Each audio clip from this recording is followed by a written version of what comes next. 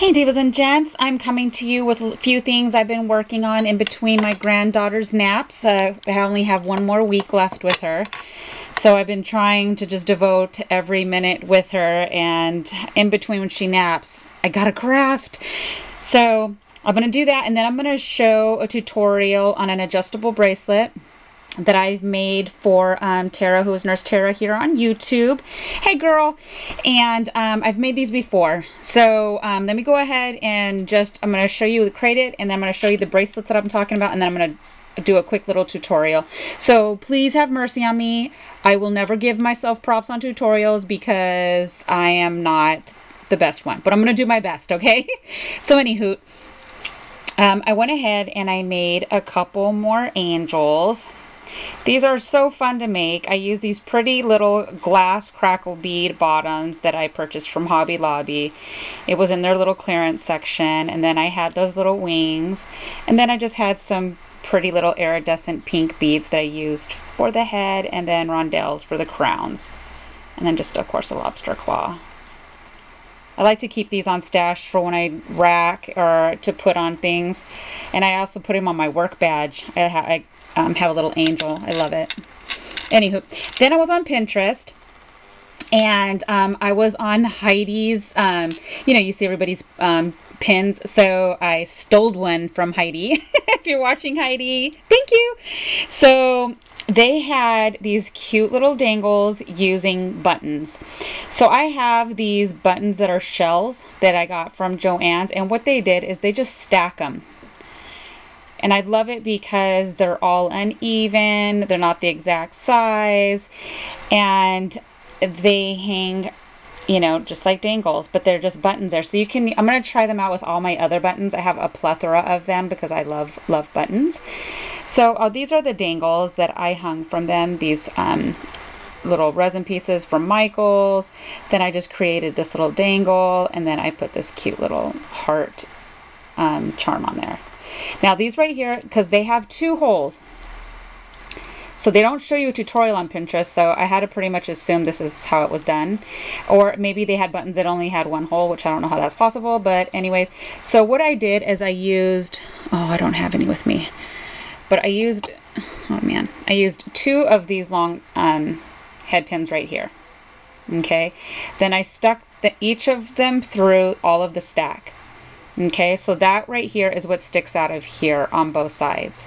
Then I take a jump ring, then I took a jump ring, and I put it to where it connected the two.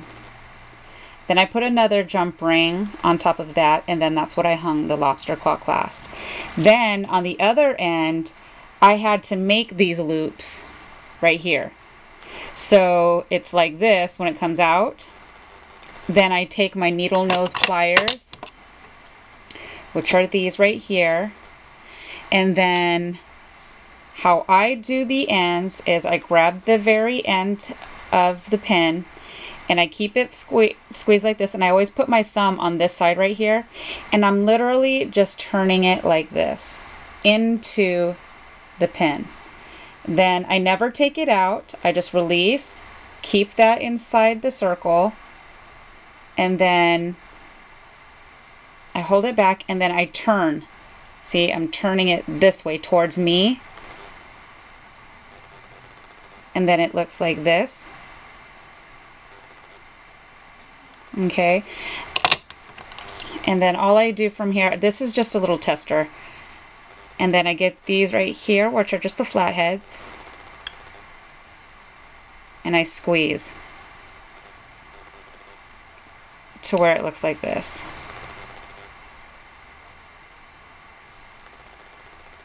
Okay, so I'll show you one more time. At the end, you grab your needle nose like this, and you do it to where it's flat. Put your thumb right here, and then you're turning it all the way like this. This hand is doing the turning all the way towards back to your thumb. Okay? And then you just release, don't take it out. And you're going to release it all the way going backwards. And then you're going to squeeze it again. And you're going to push towards yourself like this. and then it does it like this. Okay, then all you do is you grab your flat ones like this. These are flat, they don't have the ridges on the edge.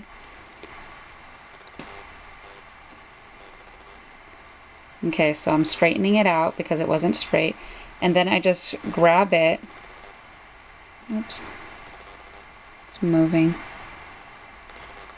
And then I squeeze it so that they meet.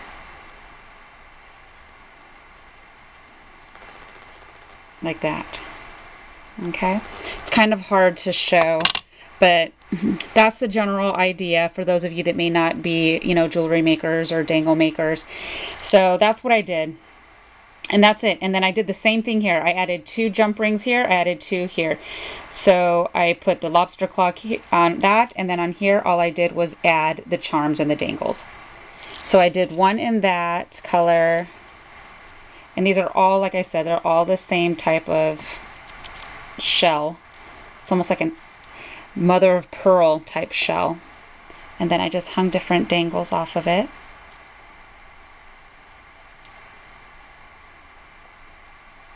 Okay, and then I did another one. This one's in a cream color. Just hung a few of them off there. And then I did one in gold. So I used all my gold yummies.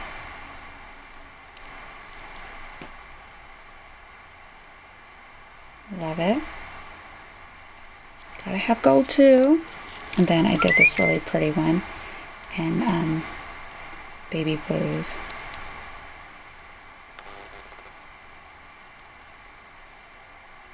And there's just a little charm, a little heart charm I have hanging from the back side. This is a pretty little heart. This little bead right here I purchased from, um, I believe it was Michael's or Joann's, I don't remember. And that's it. It's the exact same. It's super easy. A cute little idea. I love, you know, the shifting of the buttons. I thought it was really adorable to make those little button dangles. So I made those five dangles and then the two angels. Now let's get into the tutorial. Now these right here are the adjustable bracelets. Okay, no idea of my own by any means. And so they just have this. This right here is just your typical memory wire that's like this, the thin kind that you can buy at any one of the craft stores. And well, I've not seen them at Joann's, but um, Hobby Lobby for sure, and Michael's. So this is the thin one. So this is how they look thin. So I just use seed beads and then you just hang dangles. This is totally up to you how many dangles you want to use, but they are they hang in between the adjustable part. So see, so just so you can get a few ideas. For those of you who may not seen it, these are just a different side. Oops, that's the side. Let me see what side my dangles are on. Oh, here we go. So these were the dangles that I hung on this one. That's kind of a coral color. This right here is a thicker wire. This right here is a very thick wire, but I purchased it on Etsy. So this one you cannot just find anywhere. And then this one right here, on this side, is the thin wire in gold. So it's the very thin. And um, I just added chain and a ton of little dangles, little um, angel right there, and then just some more just dangles. I just was messing around with it and I love it. So these are perfect if you're going to add like three different ones. I mix these with my Alex and Ani bracelets too. I love wearing a bunch of bracelets at once. Okay, this right here is just a few dangles. This is a cream colored sea bead. And then these right here, I purchased these off of Etsy. And then I just have these little dangles. Same, this is the thick wire, so you see it's a little tougher. But this right here is really thick and it's heavy duty, so I love it. And if you don't want, this is just another idea with a thick wire. This is not adjustable like that in that sense, but I did it so it, it was like a ton of um, dangles. This was a design team project for um, Nat's store, and she does have still some of these charms in her store. Not all of them, but I did look at her store and I saw some of them in there. And see, and I just did the part and I did hung a little charm off of it. So off of the thick one, you could do this. You cannot do it off of this thin one. It's just way too thin. Okay, so I'm going to do my best to try to find the store that I purchased this from. Just to let you know, you do got to put your back into it on these. It's, it, it, like I said, it's a tough wire and you got to use really good wire cutters that you are designate to wire. Um, I, these are the ones I use. And, or you can go to the, you know, Home Depot, Lowe's or whatever and use those kind of wire cutters because it's seriously, it's a tough one. So these are the three tools I'm using. These are the wire cutters, these are just flatheads, and the needle nose, which are round on both ends. Okay, so I'm going to show you how I cut the coil. So when you get it like this, what you want to do is you have your end piece right here, and you want to give, I go all the way to the half size. So you see I have right where my thumb is to the left. Then I'm going to take the coil back here, and I'm going to cut almost halfway there. Okay, so I'll show you as soon as I cut it. Okay, so see how they lap and see how there's space in between here because you got to consider the fact this is going to be rolled up and bent. This is going to be rolled up and bent. So you're going to have about this much space up here. So you have to take that in consideration for um, the actual bending part of it. This part right here. So for instance, let's go ahead. It's easy to show on this one because I don't have to. Okay. So you take the end. Oops. Try to get a grip. Okay, so I'm going to take the end like I showed you previously. And I'm going to turn it opposite of me all the way back. Keep my um, pliers inside and then go back. Okay, so see right here, it's not all the way closed. Oops, I'm knocking the dangles off. So now I'm going to go back the other way and then I'm just going to mess with it until I get it the way I want it. And then I'm going to take my flat nose and I'm going to close it. Okay? So it's closed like that. Only close the one side. Don't close both sides yet because you still need to string all your beads through there. So that's what I did on this one. So see, I, I did the one side here, but then I'm still stringing, so it's not done on this side yet because I'm still putting the beads on. This is the heavier wire. So I already strung all the beads that I want to use on here. And these are all gold beads. So these are like um, crystal beads. And then I have little gold spacers. And this is a bronze memory wire. That's the thick one from Etsy. Then I went ahead and already did the dangles that I'm going to hang from there. Okay. These one I got from Hobby Lobby. And then I'm going to do one and this is the head pin I'm using. These ones I got from Butterbee Scraps. And then I'm just going to put it through, where is it? Here we go. So that it hangs like that. And this right here is all guesstimate, ladies. There is no science to it. I just know how much I need to um, turn. I always keep these pieces right here because I use these as links. So what I'll do is I'll curl this in and, and I'll put beads and then I'll curl this in and then I add them as links in, um, into my necklaces. So I never throw these away. You could though, if you're not into all that, you could just chuck it. Okay, so then I'm going to get my little round nose. I'm going to do what I showed you or had told you previously and I'm going to turn it all the way one way keep my don't take them out and then turn you turn it against you going first and then um, towards you um, to get it's kind of almost like a question mark is what it's going to be look like. And then I'm going to take my flat nose and then I'm just going to go ahead and close it off. And I apologize for the lighting. It's raining here in California and um, so it's extra cloudy so I have to use my OT lamp which I love it but nothing tops natural lighting so now these are the ones I want to hang from my, what you call it. These get hung on last. Okay. So now that I have everything strung on here, okay, I'm going to stick this through this hole, okay? So you see how that happens? And then, actually, let me show you back here. I'm sorry.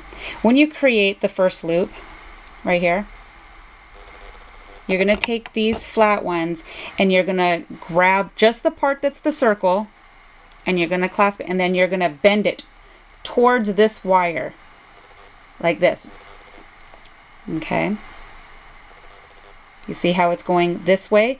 You don't want to do it that way. Well, I guess you could just make sure you turn, you put the wire this way because this wire has to go through the hole. Okay. So it has to go through like that.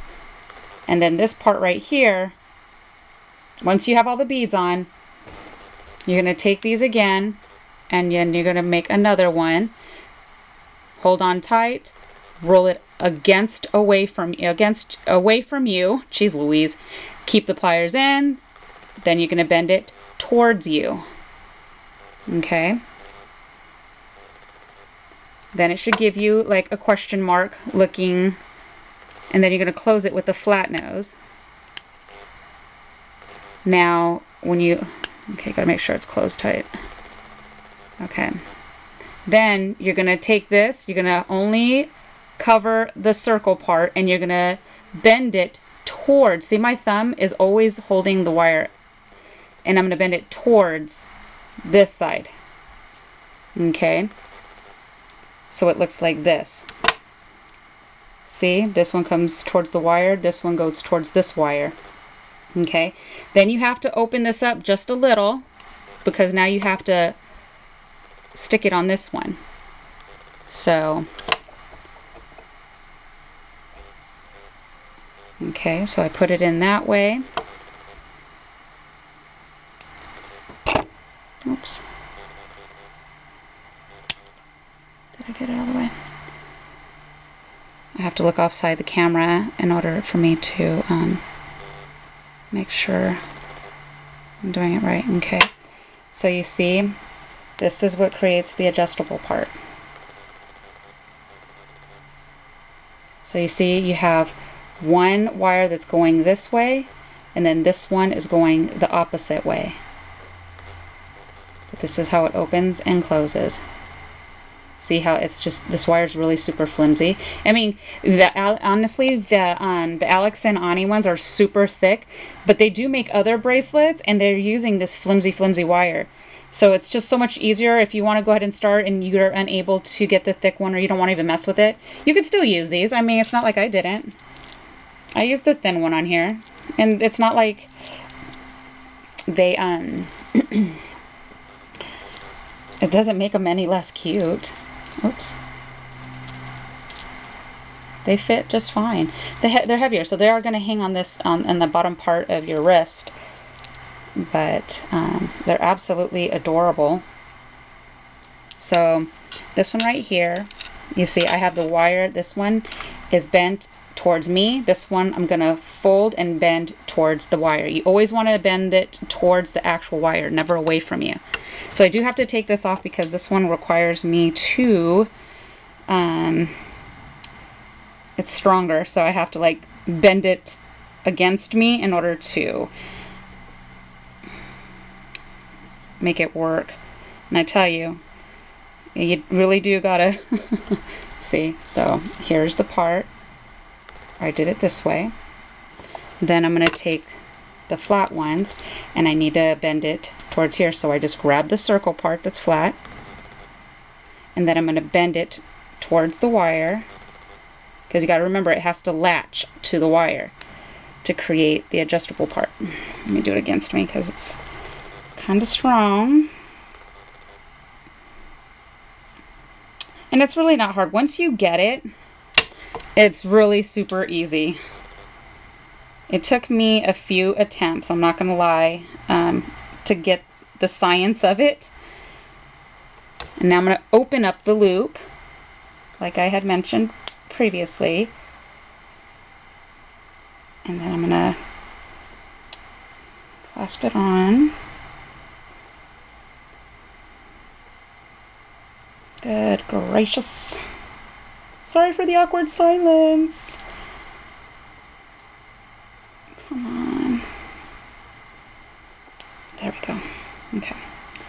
Going to show you right now. Oops. So for you jewelry ladies, this will this will be nothing. This is like super easy. For those of you that may not be, this is probably not a, a it's not so much of a beginner. It'll probably test your patience. But um, see, this is just really thick. See, but this right here, I'm gonna tell you now is it's rock solid. I'll tell you that. So I love it. So this right here has movement of the beads. So you fill this as much as you want. Some people don't, you know, want to put beads. You don't have to. I like it better with the beads. And then you have this right here is where you, you can hang your dangles on either side of these, um, what you call it. So let me go ahead and hang them on really quick. I only have like four minutes, so I want you to be able to see um, how it looks assembled. Oh, great. see if I can see I told you guys I don't you know I don't know how to you know bust out tutorials really well and um, I definitely don't have you know the speeded up option and plus with something like this there's not really much that I could do as far as speeding it up because you kind of have to see how I am doing it and um, which requires slow motion Okay, so I started, oh, did I start with that one? Okay.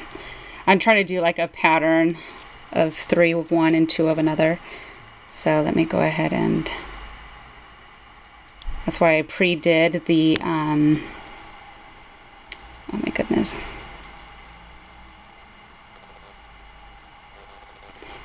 Um, I pre-did the charms so that, um, you could also add split rings on, or not split, jump rings on there, but I just, I don't see a reason in doing it. Um, really. And all I'm doing is opening them up. Because what happens is, is the dangles will hang even farther down, and I don't want them to hang too far down. So when you put jump rings on, um, on top of these, in between, I mean, it's going to be... Um, the dangles are going to hang too long. But if you're, if you're, if that's your flow, then yeah, absolutely. I just hang it directly on. I'm all good with that. Okay. So this is how it looks. These are how I hung them. So you could add a couple things, just a couple charms. You don't have to go crazy. I just, I'd love a lot. I'm over the top. Okay. So see. This goes towards this wire, then this side goes towards the wire closer to me. Really super easy. And um, these are really good as far as fitting to um, the wrist. So see, super pretty. I love it. These are really fun to make. These make great, great gifts, and I cannot believe how much they sell these type of things for um, when you can make them yourself. So see, it's so stinking pretty. And then you just add a bunch of them, you know, I mean, why not, right? I mean, they just look so fun and just really super pretty when you want to hang multiples. So I hope that helps some of you out and I really hope you have some patience with me. Um, but I do know that I did get requests a long time ago and then plus um, Nurse Tara requested it too. So I hope that helps. And if you make any, please, I would love to see what you make. That would be so stinking awesome. Like I said, this is not my idea. I totally got it from somebody else and that's it. But I got 30 seconds. I gotta go. Thank you guys so much. I miss you so much. And as soon as my granddaughter goes home, I will be posting a a ton more videos. I'm working on my guest design team one now and I'm almost done. So um, I will see you guys later. I hope you have an amazing and blessed weekend. Bye.